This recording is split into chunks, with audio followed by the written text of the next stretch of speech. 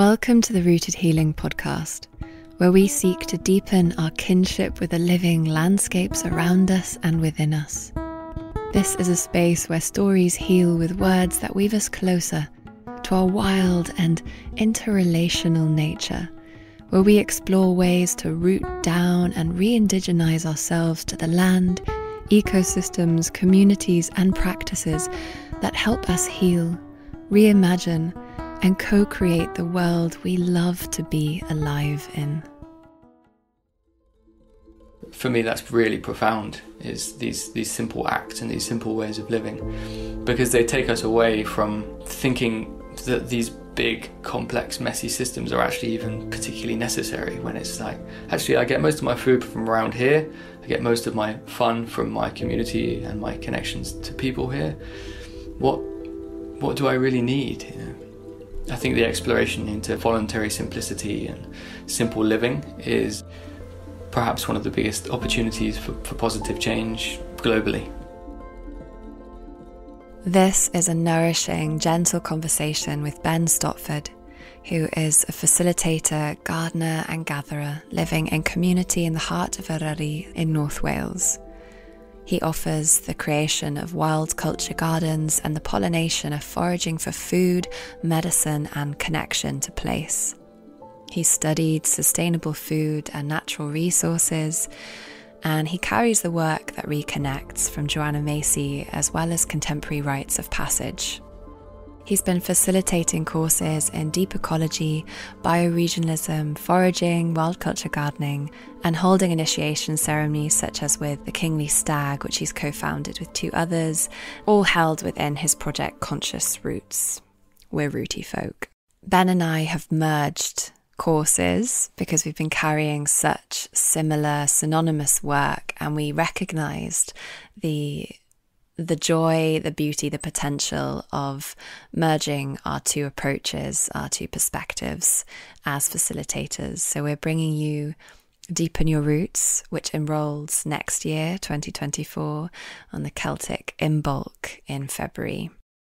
And I'm going to take up a lot of space at the start of this episode telling you about this course because it's something we're both bringing forth. And we really want to give you an idea of what it's all about. And so, for the first part, I will be sharing more about that. And then we dive into this lovely conversation with Ben. So, Deepen Your Roots is a year long, slow study weaving deep ecology, the work that reconnects, and a folkloric animistic exploration into the ecological self rewoven with place. So, why a slow study? Well, we feel that we're in a landscape of information overload and noise and a kind of fast paced instant gratification expectation from these experiences. And we really want to shift that paradigm and invite you into a much deeper, much more embodied, practical exploration of yourself and your place. And from there, activating this level of belonging that's cellular. You know, it's not, we're not just intellectualizing it and offering lectures about it and keeping it in this sort of dialogue realm, we're really bringing it into the roots of our being, into the roots of place. We've called this a journey of honouring, belonging, and becoming.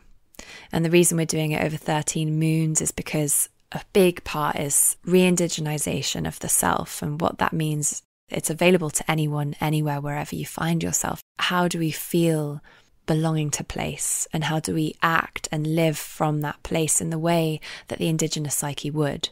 And so the reason we're doing it with the 13 moons is because the whole course, everything is connected much more to what is actually available to us to read, you know, sky language, earth language, the non human language, as well as, of course, the human community. That's a big part of this journey as well. So, in deepening connections to land, food, water, flora and fauna, community, folklore, geology, ancestry, song, and tradition, this journey will root you into a feeling of home, purpose, and animistic interbeing. And there's a lot to be said about, okay, what is animistic interbeing? I'm sure a lot of you listening will have a sense of what that is. Just to try and summarize something that's very complex and profound and I would say ineffable. It's a sense of being that goes beyond the small self, beyond the ego, a sense of being that reaches into the ecology and the ecosystems around us into an alive, almost erotic and sensuous experience of what it is to be here, interconnected with all that exists around us. There's so much more to that, but that's my attempt for now to summarize. This is about cultivating a kind of resilience and sense of purpose and arising projects of deep and profound meaning that come from the wisdom of place. So at the end of the year, you can be pinned onto our Bioregionalism Guardians map, helping pollinate broad landscapes with leaders of ecological intimacy and bioregional stewardship. So, Ben's going to talk a little bit more about what bioregionalism is in this episode, in case you've never heard that word before. And like, what is Ronnie talking about? This is a life way. This is something we can pass on to the next generations. This is something we can cross pollinate with other bioregional guardians. Throughout the program, you will have the opportunity to explore and develop offerings to nourish your ecological niche. And some questions I want to ask you that may lead you to this work is Have you felt uprooted by mainstream monoculture? Weeded from overtilled soil that threw out community and diversity, beaten by its machinery of quote unquote progress? Do you long to find community, meaning, and sustenance, and to live in reciprocity with life and your relationships? What are the stories keeping you from rooting deeper? With ever growing displacement, detachment, and dissociative sensibilities, we call to those who yearn to dig deep and cultivate the connection, awareness, and service that is so desperately needed to heal our inner and outer landscapes. Finding ways to compost what needs to be composted, as Sophie Strand so eloquently speaks about, and ways to water and nourish what yearns to be rewilded. When I think of this monoculture that has been created by mainstreaming so much of this rich indigenous lineage that comes from every single place, wherever we are. I really see this as a profound act of rewilding. A, re- a rewilding, I know some people get really agitated by re- rewilding being used as a metaphor and also decolonization. Like, these things are not metaphors. And at the same time, we we do need to include the human psyche the sense of self and place into the equation, into the alchemy of what it actually means to rewild. This course is born from the recognition that our problem is a lonely one. Because when we leave that monoculture of the mainstream, it's hard. It expels us into doubt, scrutiny, perhaps, and many, many unknowns. So, carving our way with our hearts and eyes open, it requires a courage of a new kind. You know, Francis Weller speaks to this so beautifully because we are in turbulent times, there's no denying it, both individually and collectively. And the Anthropocene is collapsing as we realize how entangled our lives are with one another and beyond into the non human. And this disequilibrium shaking the world feels like a continual tremor on the fault lines of our psychic lives. And I'm massively paraphrasing Francis Weller. Very few things feel stable. Deepen your roots will provide you a map to navigate this initiatory threshold. It is a map that bridges inner and outer worlds through animistic eyes and asks us to listen deeply to what is being asked of us at this time. And just to quote properly Francis Weller here, this is a time for bold gestures. It is a time to wake up and humbly take our place on this stunning planet. The future is speaking ruthlessly through us. And I also feel called to add that any of you who are curious about psychedelic integration, there's actually very little out there in terms of programs that really look at the complexities of what we're talking about here with psychedelic integration. You know, what is that? I would say psychedelics are providing that expansion into the ecological self or an animistic understanding of the world in which we live. And what, what I would say, based on my research and just embodied experienced understanding, is the way the indigenous psyche understands life. It's the innate relationship with life that entheogenic practices can reactivate after hundreds or thousands of years of social conditioning of disconnect and competition. And so, deepen your roots, if you're interested in, in coming from this angle, I would argue is the most comprehensive psychedelic integration pathway available at the moment. Although I must say that sounded a bit competitive. So I'm sure there's some beautiful things out there. But from what I have perceived, I feel really passionate about this being a deep dive into implementing and embodying the insights that arise and the often biophilic expansionary experience with psychedelics into our lives in a, a really profound way. And just to quote Sophie Strand here, because it's so relevant to this inquiry quote, I'm much more interested in ensoilment than ensoulment. I want to have actual roots. I want my spirituality to have fur, pheromones, funk. I want to live in a specific place. And I want it to teach me intimately how to be dynamically present and useful to my ecosystem. I want to tell people that healing isn't about completion and it isn't about lightness. It's about the mixing bowl where nothing is exiled, everything is included. In order to grow a garden, you need manure. You need compost. In order to heal the soil, you don't clean it, you add to it. End quote. Wise, wise being. We're so lucky to have her on this, supporting this, truly supporting this project.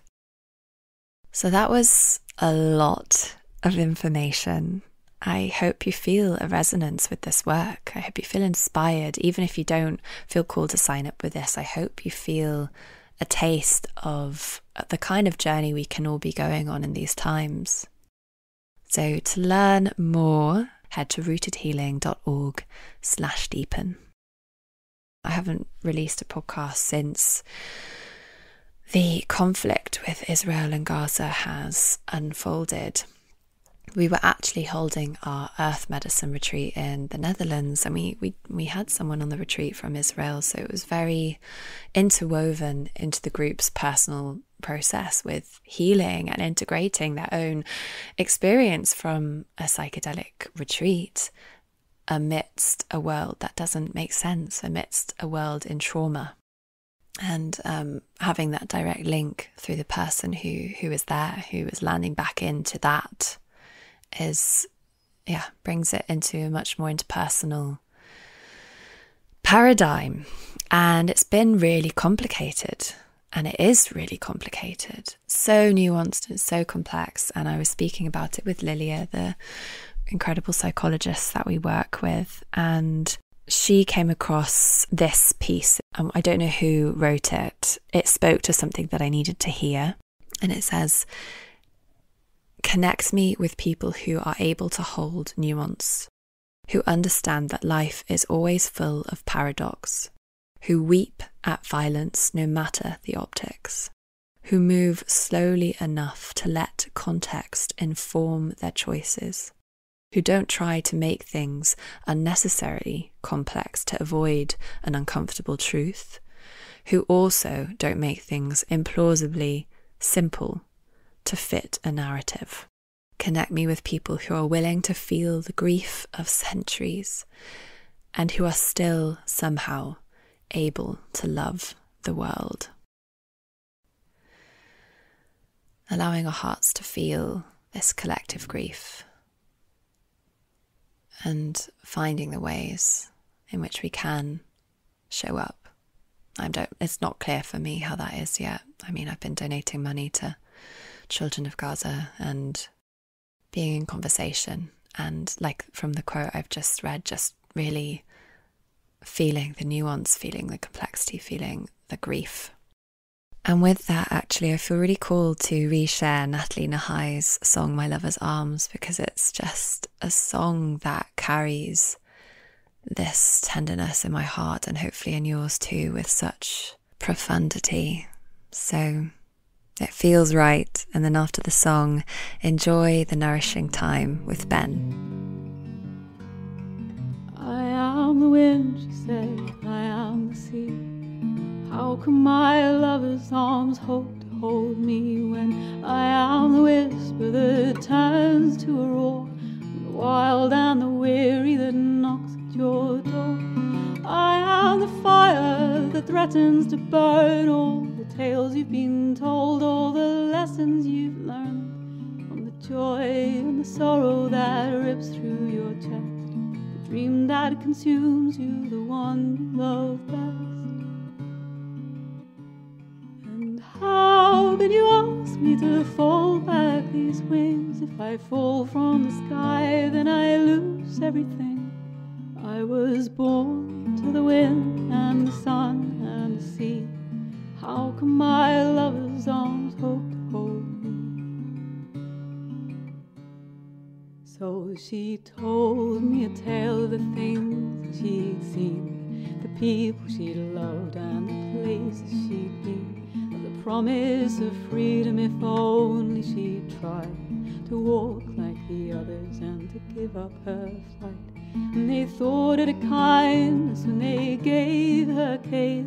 She folded her form and contorted her face, but the bars were too tight and they burned through her skin. Try as she might know, she couldn't fit in said, I am the beauty that longs to be seen. I'm the breeze in your hair and the dew at your feet. The stillness of morning before the dawn breaks. The warmth and the light and the pleasure you take from the sweetest of rains when the well has run dry. The promise of summer in the dead of touch of dry land when you're drowning at sea. How could your arms ever hope to hold me? So she called to the darkness, and the darkness replied, You must unfold your wings, you must take to the sky. These people may love you, but your hands are tied. If you stay any longer, you'll surely die. So she picked at the lock and she opened the door. The steps that she took, they were broken and raw, and the earth yielded kindly beneath her feet. And the taste of freedom never seemed so sweet. She said, I am the wind, oh, and I am the sea. Oh, how can my lover's arms hold hold me when I am the whisper that turns to a roar, the wild and the weary that knocks at your door? I am the fire that threatens to burn all the tales you've been told, all the lessons you learned. I'm the joy and the sorrow that rips through your chest, the dream that consumes you, the one you love best. And how could you ask me to fall back these wings? If I fall from the sky, then I lose everything. I was born to the wind and the sun and the sea. How can my lover's arms hope to hold me? So, my name's Ben. Um, I grew up in Devon, um, pretty much in the middle of the woods. Um, quite an old woodland. There's a lot of beech woodland around where I grew up, um, and it was a yeah a lovely old farmhouse. So that that landscape shaped me, I suppose. I was there until I was eleven, um, having left London when I was one, and so the the kind of Devon landscape still really calls to me. There's something about those those beech forests that uh, is very settling for me. They're kind of they're quite simple forests quite spacious and full of light. Um, and calling in an animal, the first animal that comes to mind is the eagle. I live in Snowdonia, which in Welsh, Eryri, kind of refers to the, the abode of the eagle. And it really makes me a bit sad in a way, calling in the eagle, because I presume that the name is because uh, there were eagles here. But there are no eagles here now, so there's this kind of quite literal literal calling in of um, you know how long will it be until the eagles return? What do we need to do to the landscape to encourage and see the eagles returning to the land here? I saw they'd introduced white-tailed eagles in Scotland, haven't they? Mm-hmm. Wonder mm. if they'll make their way down to Eryri. Yeah. Yeah, well, maybe if we call them in enough, they will. Mm. but yeah, I think that they are. The golden eagle also is making its way south mm-hmm. from Scotland. So I think just the, the landscape needs to provide what, what they need, you know. And so yeah, it's a big question here of how do we how do we do that, and partly that's a human question as well, you know. What do what do the people need to, to do or to change in their ways so the eagles feel comfortable here too? Mm-hmm. Mm-hmm. Yeah. Yeah, I was going to ask you about your journey, whether that whether, whether it's involved stepping away from the wild places to realize that you absolutely needed to come back to the wild places. It sounds like getting out of London when you were one was quite the uh, early escape from, yeah. you know, the Anthropocene. Um, but yeah, how at what point has it always just been a natural evolution, or was there a point where you just knew that you had to make this your life's work? I guess it's an ongoing balance. Like there's still a part of it that involves trying to figure out the right balance. Like, there's a part of me that still feels called to go and live in in a big city. Um, it's a small part, but there's something really exciting about all of the people and all of the culture and all of the things happening. Um, and so I think I've gone to quite an extreme a couple of times, and it takes me a little while to calibrate and come back to the the kind of people community, the people part of the ecosphere um, yeah, like for example, I bought a farm in Spain. It was really in the middle of nowhere, and it didn't take that long for me sitting there realizing that the kind of human community is such a vital part of what I want and need, and yeah, plays a plays a massive role in in the work that I hope to do and want to do, which is again still another ongoing calibration of what that looks like. But so yeah, here feels well balanced. Here feels like uh, it has the wild places. It certainly has the rivers to swim in and the mountains to climb, and but it has the most beautiful human community as well that is um, sort of unfolding. It's taken quite a long time. I've been here on and off for eight years now, um, and it's only in the last year and a half or two years maybe that the, the human community has started to kind of show its face to me a little more. And even that comes with all of its, you know, its complexities. You know, this is this is Wales. I'm I don't speak Welsh. I'm just trying to learn at the minute, but I will never be of here. You know, I will never have been born here, and so there is that complexity of like trying to put put my roots down in this place, this land, with this human community, and there always being a slight sense of of lostness, and that's cultural. That's not that's not just my personal journey. That's just that we live in a time where we, we move around. You know, not that many people are still in the same place they were born when they're when they're 16 or 17, um, and certainly not by the time they're in their 30s. Mm. And so that, yeah, that's part of the exploration is how do we, in some sense, how do we kind of put down these annual roots? How do we root quickly and uh, and still still go through the process of experiencing a place in its fullness? And that's part of the exploration here. Mm, I find so much humbleness in that answer, and I, I didn't even know that you had a farm in Spain. wow. Mm.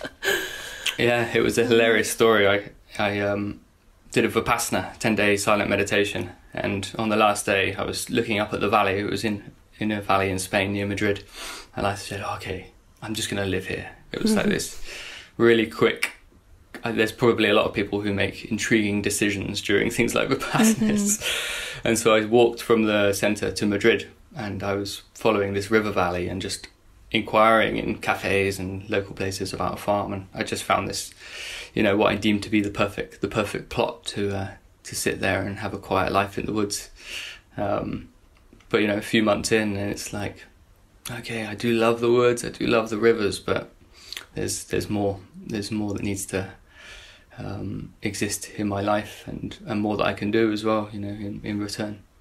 Wow. that is such a Ben way to look for a property to follow the river. yeah, absolutely. Yeah, yeah. It's a it's a funny hobby that one. Yeah. kind of.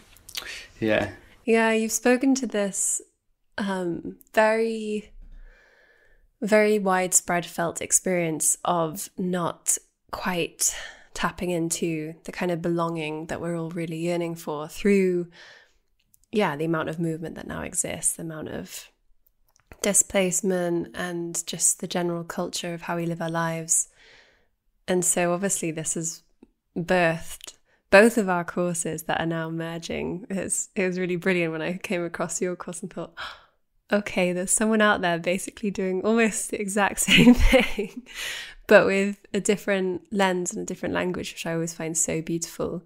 So maybe you could introduce the notion of bioregionism, and then we can explore your journey into cultivating belonging through your local bioregion. Yeah, so bioregionalism, effectively, it's about living locally. You know, it's it, there's a lot of different environmental kind of sustainability movements that speak about the, the benefits of living locally, and they're often framed around lowering carbon emissions effectively. How do we remove a lot of the complex transportation and things, food systems, all of the these these complex systems that lead to a lot of problems. So part of that localization is about the environmental question, and that's how I came to it. Was was an interest in reducing my carbon footprint and becoming more environmentally conscious, I suppose. And the kind of accidental thing that happened in focusing on on this local area is this this sense of belonging more to an area when you focus on it. And so for me, to tap into bioregionalism is to study where it is that you live and come to some kind of naturally and culturally defined boundaries and make that your life, make that area your focus. The benefits and the, the things that come forth through living in that way have been really surprising. They weren't kind of necessarily intended. Even just something as simple as um, minimizing overwhelm with asking this question, what's what's my work to do here? Mm. Um, for me, it was this environmental framing of that. For others, it will be, you know, a whole number of different things. But that question becomes a lot easier when you when you geographically and culturally define an area that you're working with. But it also becomes much more personal, and so that's where the deep ecology comes in. Is this idea that when I embed myself in the bioregion, there's this this expression, the ecological self and the ecological self is the the self beyond the ego, the self that is part of the landscape and the systems that they live in. So, the inseparability of me from my food and from my community of people, and even from the health of the river that runs past my house. And and the idea is that you can expand this ecological self. You can kind of grow into it, until you stop being Alan Watts. Alan Watts called it the skin encapsulated ego. Mm. This kind of bag of bones and you start to expand out. And it's not in some kind of grandiose way, it's just in recognition that I am not a separate thing. You know, I am totally entwined and interconnected with with the entire planet, really. But the but the ease of settling into a, a kind of eco region, a bioregion, makes it very literal because I understand where my water comes from, or I understand what plants I can eat and where my food comes from, and I simplify in that way. And because I can see it, you know, there's that expression, not in my backyard, which is often referring to things like wind turbines and nuclear power plants. You know, mm. yeah, yeah, I'm all for them. It's great, but just not here. Mm. not not where I am. I don't want to see them. Put them elsewhere. But when you bring in this this bioregional framing, it's like it's all in my backyard. So what's okay? You know, if I don't want nuclear energy plants in my backyard. I don't want them anywhere. yeah. So, what can work? You know, how can we build? And it's not about closing off to the outside world. You know, as with the ecological self concept, it's in recognition that that bioregion is entirely connected in and reliant on the other bioregions. So it's not about creating little kind of secret clans or, or walls or anything like that. It's just a kind of recognition that naturally this is the place where I sit and where I live, and I can have a great impact on this area by putting my focus on that, and the impact becomes personal because it's my land. You know, it's uh, not not in a ownership sense, but in a I live here. You know, this is where where my food comes from. It's where my water comes from. It's where my friends and family live, and you know, it's mm. it's all right here. Yeah, you've written about shifting from the um, anthropocentric to the biocentric to really meet the ecological self, and I love that. But I also recognize that for some people, there's still a lot of fear of living really in wild places or in nature or in what some might perceive as like a smaller way of life. Mm. And I think there's the archetype of the hermit that comes up for a lot of people, or there's just stories that might block people to actually cultivating this kind of belonging. And I was curious what you've noticed in terms of barriers to belonging that are generally built within the collective human psyche at the moment? Yeah, I mean, first thing, I think that one of the most interesting things about this idea of expanding the ecological self or living bioregionally is um, it, you don't have to live in the wild. You know, you could you could be in the centre of London mm. and still have an amazing experience in deepening the ecological self and, and learning about your bioregion. Like yeah. it's it's all there. You know, it's still built on top of rock and river you know, this, and, and you don't need to be trying to restore it in any way. It's just about knowing it's there and connecting to these things, and people finding that there's uh, there's beautiful farms within the city, or maybe there's a requirement that your bioregion is bigger than that. Um, if you want to be expanding out to include your food and things like that. I can't remember the expression you used, but there is this sense often of not being allowed to go backwards. Like we can't go backwards. You of course, we can't go backwards, but we can certainly learn from beautiful things that we had in the past that we don't have anymore, beautiful ways of being, and that's where a lot of opportunities in this exploration come in to to reconnect to traditions and things like that that perhaps have already existed, and it might involve some modification to make them work for us now. But yeah, some of the barriers I think have been this ongoing sense of, or almost ongoing encouragement toward us kind of becoming more individual. Mm. Yeah, that we must just stand alone and we are just a single self. And that's really deep in our in our psyches. That's really deep in our culture.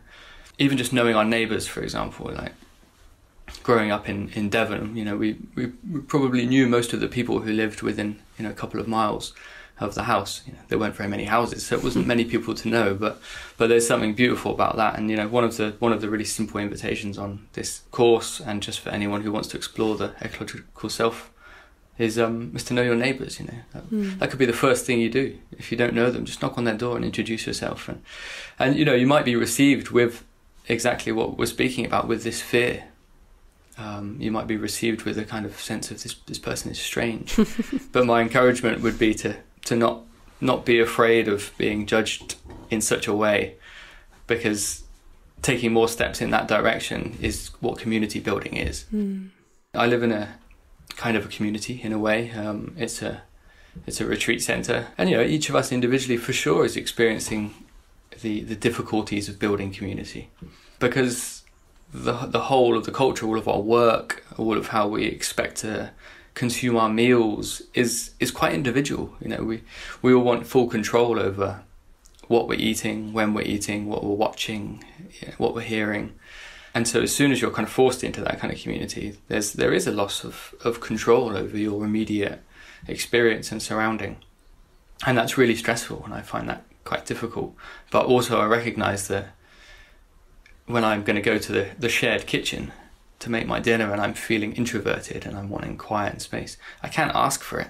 You know, that's that's one thing. Is a great lesson is recognizing what it is that I want and need and, and feeling able to ask for it and trusting that my community of people there can receive that well.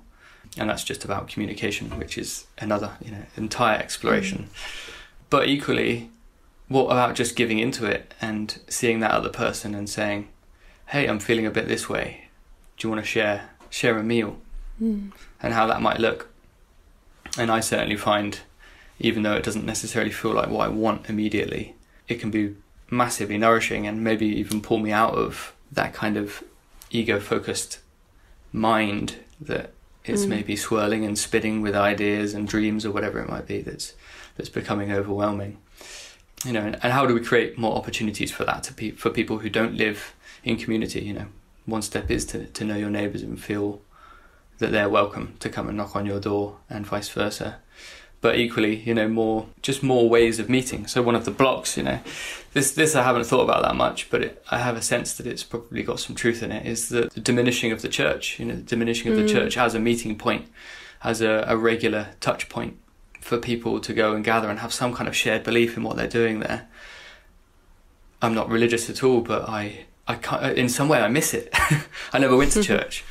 But there's something that feels so beautiful about like, wow, on Sunday we go to this stunning building that's really well mm. cared for and it's really old and simple and no one's on their phones and we're all just there to gather and sing songs and hear stories. You know, mm-hmm. that sounds wonderful. And so, yeah, part of the part of the cultural exploration, and I think it's a necessity. You know, I think it's really important that we are exploring these things. Is is this question of what okay, maybe it's had unhealthy parts attached to it, but what are the great parts we can take out of it and how do we build them? And, mm. you know, maybe they're bioregionally specific.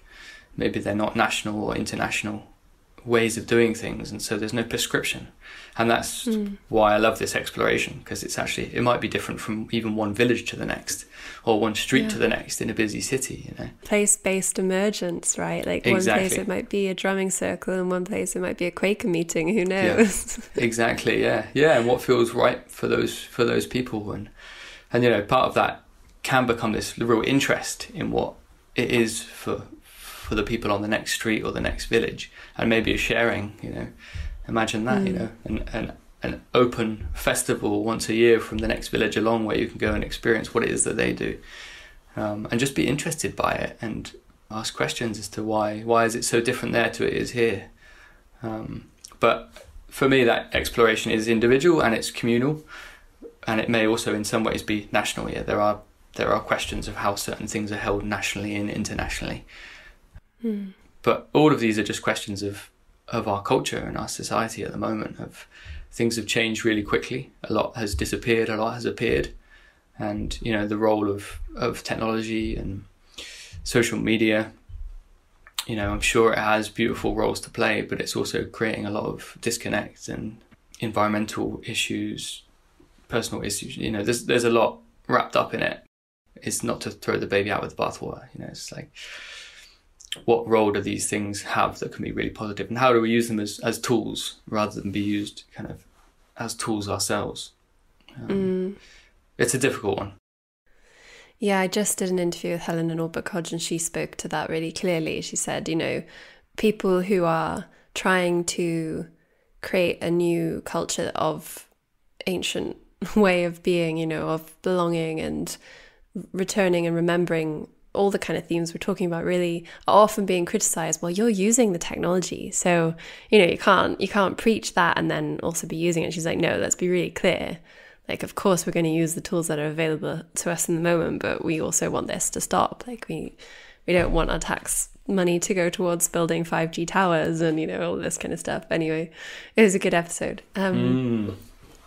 Yeah, something I was really hearing that actually as you were speaking before you mentioned about the church. Um, I, I've got some friends who are religious, and there's a few people in my family, you know, they go to church every Sunday. And I, I really, I see that. Like, wow, they have such a staple of community. But the missing piece I find from the outside looking in is, again, it's so imbued in the Anthropocene. Hmm. So it's this kind of meeting the neighbors and the non human neighbors and maybe merging those two worlds you know how can we how can we gather in a way that does that? And what comes to mind immediately is foraging for example. It's mm. such a beautiful community activity. And obviously you run regular foraging sessions and you did one at ancestral. It was so beautiful. And at the same time that has had its whole mainstreaming wave of food for free and this edgy notion of people going towards back towards nature through through a passion for foraging but then also not fully embodying reciprocity. And so maybe you could just speak to your relationship with foraging. I especially would love to hear about your bioregional life way mm. challenge that you set for yourself. I feel really um, excited to talk about foraging because it, ha- it has this kind of sense for me of it being my wizardry my sort of my tricksy magician coming through because I yeah I take people out every Saturday in normally in groups of people who don't know each other, and we do a very simple foraging tour, and there's a there's a slight kind of a, a backdrop of um, accidental building of relationships to nature that's framed in this like oh you know we can go out and we can pick food for free. That's the people are interested in that. There's a real draw to this opportunity to go out and, and connect to the land but people often don't know the framing of it. And so foraging is a great framing but it gives an opportunity to to add little snippets in. So foraging itself is a beautiful activity, but it's also, you know, it has a lot of potential to become just another part of a broken system. You know, if we if we over forage already diminished wild lands, we're creating a lot of problems. So how do we do it in a way that's sustainable? And so it's a great opportunity to to speak to groups of people who maybe haven't thought about ideas like reciprocity in the context of food to drop those kind of conversations in and spark this between them. And you know, an opportunity to, to put an invitation forward for people to take their shoes off. So we stop by mm. a, a, beautiful river called the Bachwen, where we take water from the river to make wild tea. And that time we normally have half an hour or 45 minutes.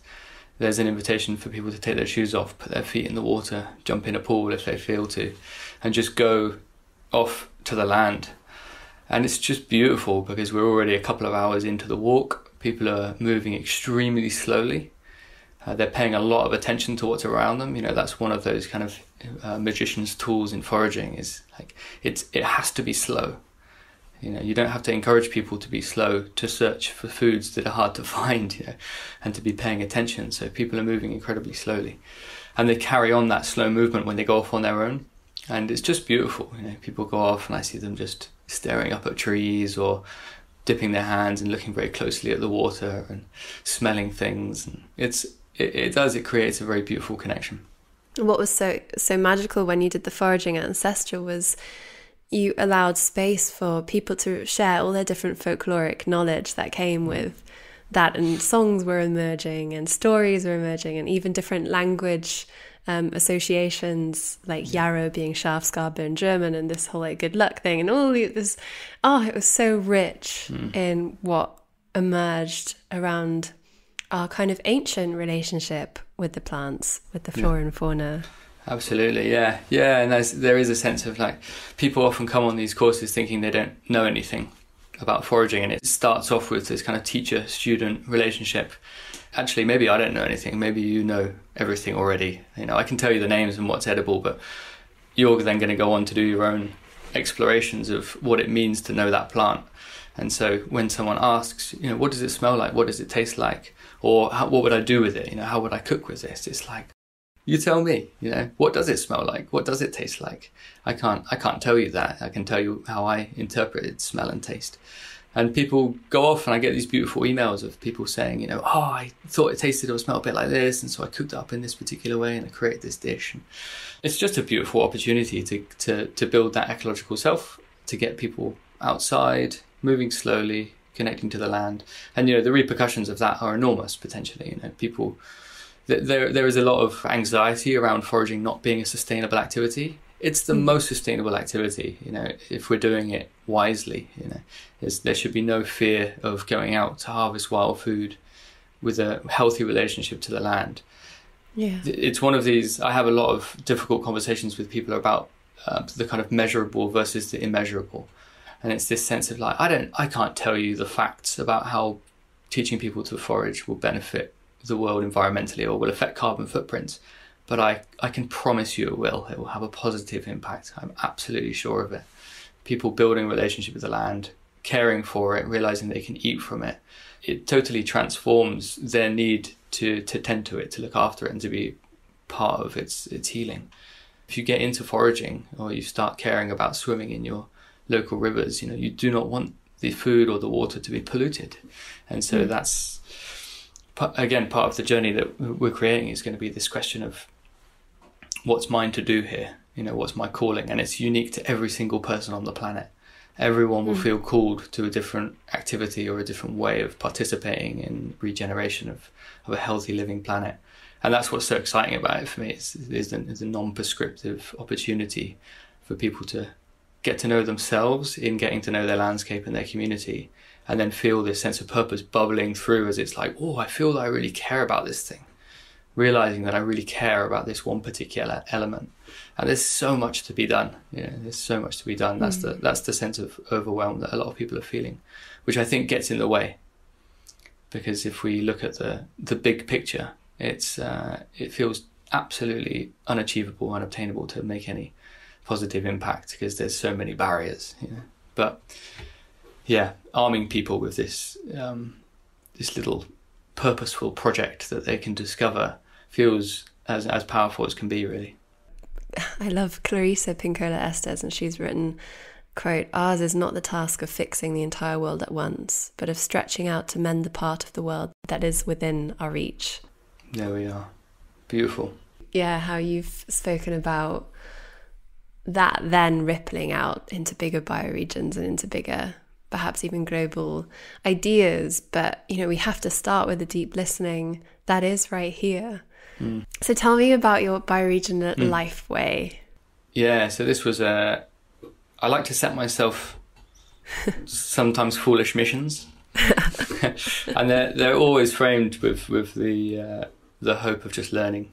And so this one was the intention was three months of only eating food grown or foraged within eight miles of my doorstep, basically. So it was a it was a beautiful project. I learned a lot from it, and you know the first thing I did was put a, a lovely OS map up on the wall with a eight mile circumference drawn around my house, and I just studied that zone, you know, that eight mile zone around where I live. And firstly, it was just like, wow, I live in a great place. You know, I live in a beautiful place, and very exciting to explore all of these, all of these footpaths that cover the land here. Know, that's another really lovely thing that we have in the UK is this footpath system that I feel really grateful for. And actually, speaking of callings, you know, one of them that's come up for me is, you know, let's make sure we keep our footpaths. Mm. Let's make sure that they don't disappear. And so the yeah, that was the mission, um, and it involved hunting rabbit, squirrel, fishing, sourcing food grown locally and ecologically. So immediately there was no access to, to any of the big shops because none of them buy any food from within such a small region. But I also was limited to one pound a day to buy food. This was self self imposed. It was it was to to get me out foraging really and to get me finding other ways of getting food. It was a beautiful experience. It was much more difficult than I expected, partly because actually where I live, there's not that much food being grown. There's a few farms that are doing absolutely beautiful work, and so they were the places that I was going to. But our most local cheese, I was very excited. It was going to take me five days to save up to buy a little round of it. But um, I discovered that the sheep were grazing, you know, well out of my bioregion, 25 miles south. And so, you know, according to my rules, it was no longer okay. It was no longer in my region. And there were a few things like that that came up but you know, I got into some bartering, and I'm actually working this afternoon for a, for a beautiful friend who gave me um, about five kilos of honey and a huge basket of, of, vegetables from his land. He has a homestead and is a beekeeper, and I'm helping him re-roof his shed this afternoon. And so things like that came through, just these opportunities. And of course, you know, I'm I'm lucky to have the time to be able to do that and fully recognise that that's not accessible to everyone. The bartering thing is is complex. I ate really well. You know, I didn't eat enough calories, and so I stopped early. Um, I did a a solid month of doing it properly, and then I brought back some other food with an increased budget. And it's kind of taken me on to this next this next mission, which in a way is the the wider mission. Um, you know, I learned a lot about foraging, and I can I can now tell people about what I learned on courses and in conversations, and and I also learned everywhere that it's possible for me to buy great food in the local area and know how to support some of these farms. Teg is a farm up the road and they've just sold uh, cooperative shares and so they're sort of spreading out to become community owned and so part mm. of the part of the invitation again of the ecological self is, is exploring these opportunities and so yeah this next mission it's not so personal, I suppose. It's more about how do I create a kind of framework of how people can eat well. So it's not necessarily about eating bioregionally. Um, it will involve a lot of that inevitably, but how can we feed the planet? you know, mm-hmm. starting starting, I suppose, in the UK because that's the context in which I'm sitting. So yeah, these these kind of simultaneous questions of how do we eat to nourish ourselves? How do we do that in a way that's affordable? How do we do that in a way that everyone on the planet can eat well? And how do we grow that food ecologically? And I harvested all my own sea salt as well, and that sea salt is amazing. It's delicious, very easy, very beautiful process to, to gather. And yeah, we, we we gathered it for the ancestral retreat as well that bioregional diet took me away from the foods that I'm used to, which are which are they're intense, you know, they're intense flavors, but our our sensitivities increase, and it's it's similar to the foraging walk when you're slowing down and you're connecting to the smells and things. You you very quickly become more attuned to them and more open to them. Um, and when I'm sitting with a very very simple plate of food, I'm paying a lot more attention to how it tastes. I'm really appreciating mm. it, and it's it's distinctly different. Mm. The carrots grown ecologically compared to the industrially grown, which presumably have lots of pesticides and herbicides, they had 30 times as much vitamin K. Wow. And so when we're talking about an unhealthy nation, the NHS is struggling, it's crumbling. And one of the reasons is we're really unhealthy. We're mm. really unhealthy people. And part of that is that our food is unhealthy. I think of these small, but also really profound and really big steps and lifestyle changes absolutely can, from the ground up, change systems. I think we can often feel quite powerless. And at the same time, paradoxically, the pressure on the consumer mm. in terms of the debates about um, carbon, for example, is so immense. But it makes me think of how the cultivation of belonging, you know, what that would do to the broader systems and to the infrastructure that's currently crumbling. Mm. Um, because if people if people truly belong, I think that will completely change consumerism. It'll change the relationship we all have with place and one another and ourselves. It would change how we move through the world, what projects arise. I mean, even just to think of the kind of projects that arise from that place of belonging, deep listening, and multiplying that by the amount of people doing this work and inquiring and then spreading that. And yeah, I just think this, it's really quite potent, this work. That's obviously why we're both doing what we're doing. We're trying to bring that deep remembering back through an embodied experience mm. and not just to intellectualize it, but to actually start exploring a more animistic way of, of interbeing. It makes me think, I know we've both done this actually previously um, with, with things we've been running, but this idea of having conversations with trees, with the mm. river, I'm curious if you can remember any of the conversations that came through for you. Yeah, the first time I did that was um, facilitated um, by a kind of nature-based psychotherapist up in the Scottish Highlands, and it's it's a really interesting one for me because there is at at the absolute foundation I am a pretty kind of normal Devon boy. You know, I don't I don't have any sort of big spiritual beliefs or I struggle even with the word animacy and things like that. I'm not quite sure what it all means to me, but even in amongst that, I have these these interactions with with myself as well as other beings that do give this sense of like there is something more available to us even if it's not in the way that I've previously believed. We create a whole belief system around a single word and it blocks us into opening up to the opportunities that might be there that don't really involve any any belief but they're just experiential.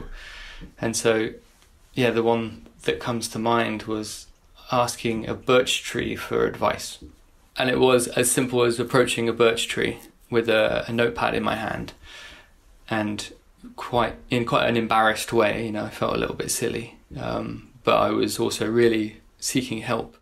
And i just said hey do you mind if i ask you a question? And uh, and i had this sense of like yeah no worries that's fine. Which is something we do in the foraging as well you know we ask permission before we take and then I asked the birch tree for some advice on my life, some direction. And I found myself scribbling, scribbling and scribbling and hearing all of this wisdom. Uh, I didn't hear an external voice or anything, but it came through, you know, and maybe it came through me in relationship with this birch tree or just it just through me in the fact that I was standing in such a beautiful place uh, in front of such an amazing being. But something came through from wherever. I don't really care where it came through from. I'm interested, but I don't need to know um, because when I refer back to what I wrote in that journal, it's there's no doubt that it's wisdom. You know, it's it's exactly what I needed to hear, and quite often I need to hear it again. It feels like the kind of advice that we might receive from true elders. You know, if we that's that's a long term goal. You know, having true elders um, flooding our mm. society, but they do certainly exist, and also they exist in the uh, the kind of more than human community, and that's available to everyone. You know, this is again, always in the backdrop of my thoughts is how do we make this available to everyone? Make sure it's not inaccessible. And there's so much of this stuff that's just like you can just go and do it. You don't even need to learn anything or read anything. You know, there's so much opportunity to just just step outside um, and mm. play with these practices without getting stuck in the kind of overwhelm of all that there is to do and all that's on offer, uh, which which is just another way of getting stuck. Firstly, on the, on a screen probably, but also potentially in your in your own head. that that was one of the really beautiful um, kind of unions in the course. You know, we both had our own courses, and now we've melded them. And for me, they were held very much as the masculine and the feminine. And mine, when I read your course material for the first time, I realised that mine was it wasn't stuck in the mind, but it was very intellectual. It was quite mindy there was quite a lot of thinking. um, and then there was kind of bolted on, there was this now embody the change, you know, now go out and do the thing that we've been talking about. And now your course was held more in this beautifully languaged, feminine, um, full of mythology and song and story. And now that's come in, and the combination just feels super rich. And so the the time that does happen on screens, you know, is is perhaps it's that kind of rest time. It's that like it's great if it's raining out or it's dark and you're feeling tired. It's a great opportunity to do a bit of that research. But the important thing being that you know that that's not what the course is. You know, that's that's a, part of it, and we can get really stuck just studying online stuff. I've done plenty of it myself. You know, I've spent a lot of time reading about yoga and not all that much time doing it. And so, the, for the course to really work, people need to be dancing both parts fully.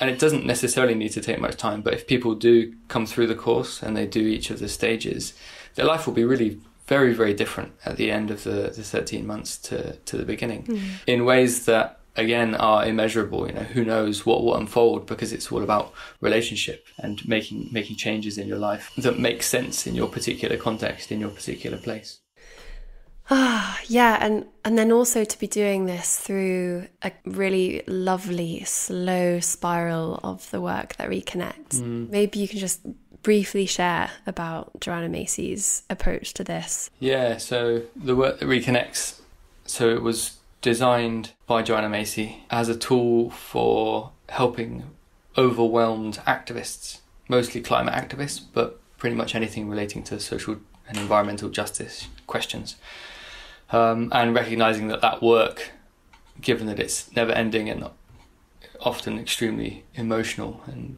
difficult, there was a lot of overwhelm. And so she wrote this beautiful idea of this spiral that we can take ourselves through, or we can go through with a group of people, ideally facilitated, which basically kind of shoots us out the other side. It takes us through the difficulty. The idea of the spiral is that it starts in gratitude. And so you you begin by just going through a series of activities about what it is that you're grateful for in the world. But then you move into the difficult part, you know, the the part of um, your pain for the world. You know, what's what's going on? What is what is your suffering? And this is very personal, uh, and this is in some ways what that eco- ecological niche speaks to. What calls you, whether it's in your bioregion or in your work or in your life, what calls you is is your niche. You know, it's it's personal for everyone, and, it will be it'll be a fascinating thing to see what unfolds. and then yeah, you, the next phase is called seeing with new and ancient eyes, and this is an opportunity to do a little bit like some of the stuff we spoke about, listening to or speaking to um, voices of the more than human world. And there's lots of different activities hidden in there. And then the final part is going forth, and this is like, okay, you've, you've done this work. What's next? What's yours to do? And you can keep returning to this spiral over and over. You know, you can do it in 20 minutes. You can spend a few days doing a workshop in it, um, but it always kind of shoots you out the other side with this renewed vigor and this renewed recognition of what do you really care about? And you know you can really feel that when you tap into these spaces. When you speak to certain things and your voice quivers it's like you found something. There's there's gold in that um, and mm. there's inquiry in that. You know what's what is it that that calls you in that sentence? Or what is it that has such meaning for you in that sentence? And that's how you can build this kind of going forth idea. And so yeah she's been doing that work for a long time. She's one of the true elders you know, that we've kind of mm. referred to. Um, and the the body of work continues to grow the Deepen Your Roots and other courses we're, we're writing are lightly held by this idea of, of, of, the spiral of coming from gratitude and going through these processes, finishing with going forth, which is really an empowerment exercise.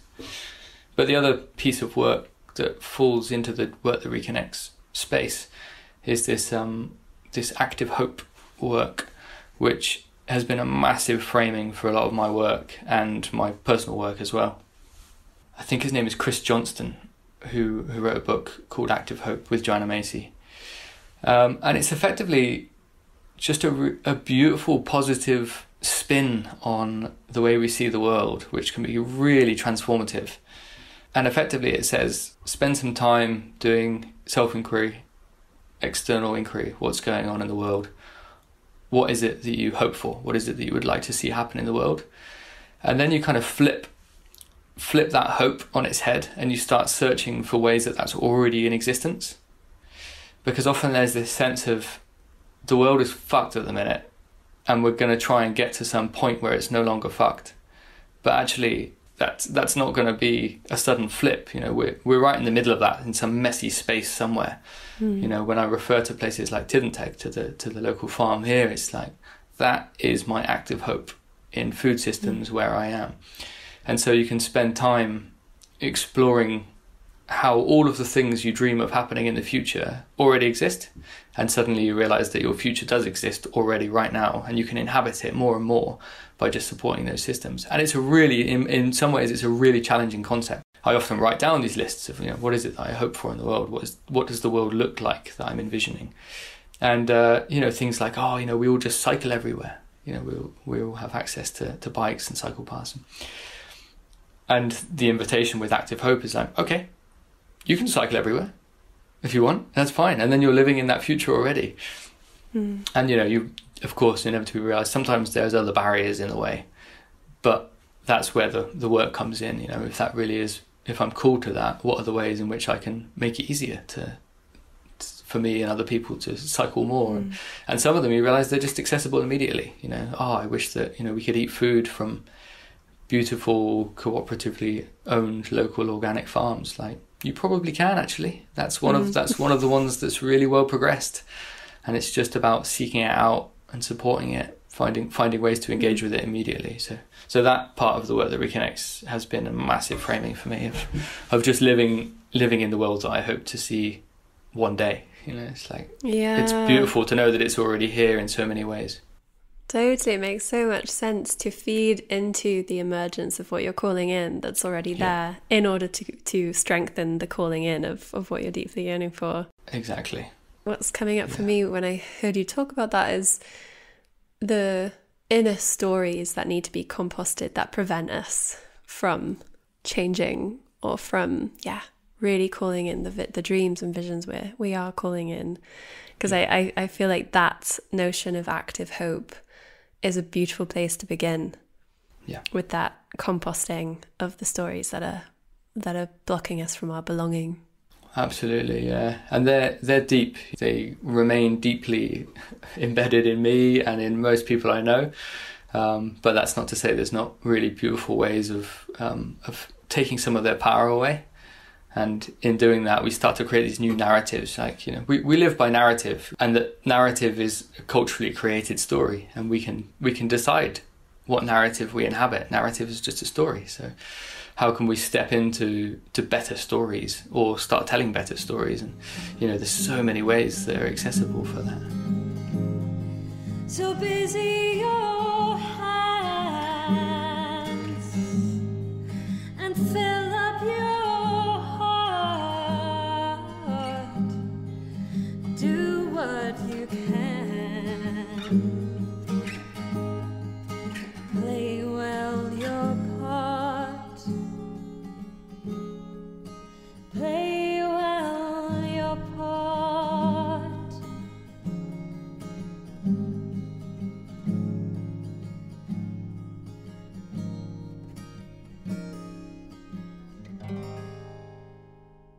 live in this crazy time where we're right in the midst of all of these merging stories and emerging stories you know different different possibilities of how we can how we can go.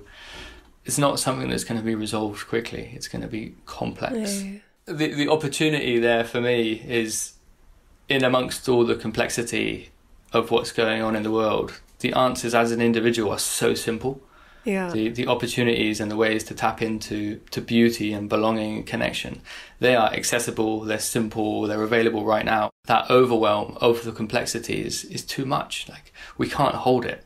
We can't Yeah. we can have conversations about it. It's super interesting to talk about you know these these bigger picture things. But the real change is going to be grassroots held by individuals doing what some people might perceive as small work but times by many billion, you know, times by a lot of people doing beautiful acts. And I find that very settling because the sense that everything I, I do has to be huge and has to impact, you know, everyone everywhere is, first of all, unlikely and improbable.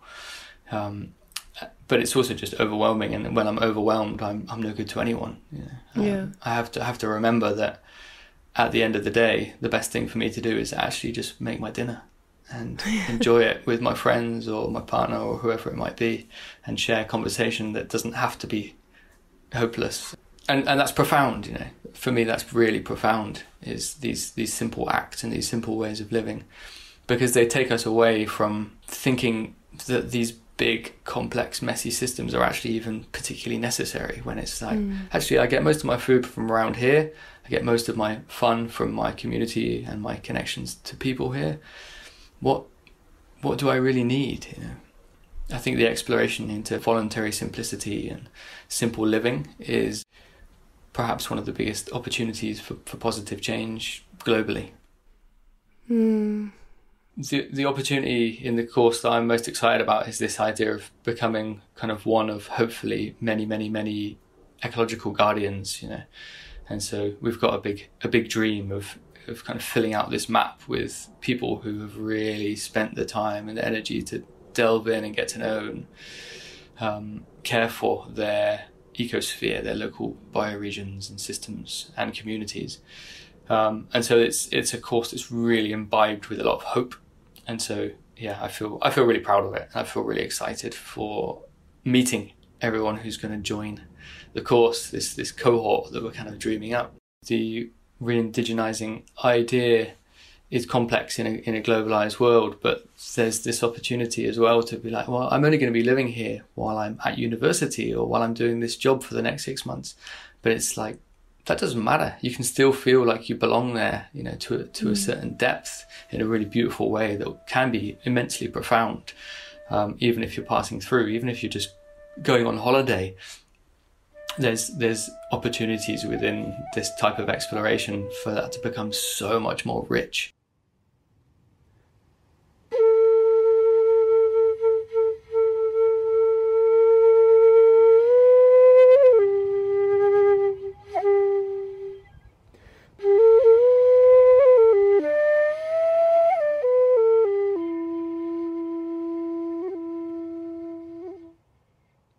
Thank you for listening.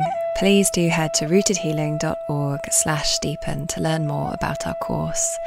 And for podcast patrons, alongside this episode, we are releasing a post that includes a discount for the course. So if you're supporting us through Patreon and already receiving um, all this lovely exclusive content, make sure you keep your eyes peeled for this discount if you're interested in joining the course. Through deepened imagination, consciousness expansion, and cross cultural wisdom exchange, we explore human soul ecology to ignite collective healing, nature awe, and interconnectivity. We offer nature immersive ceremonial gatherings, legal and safe psychedelic assisted psilocybin retreats, integrative healing courses, and a growing collection of resources.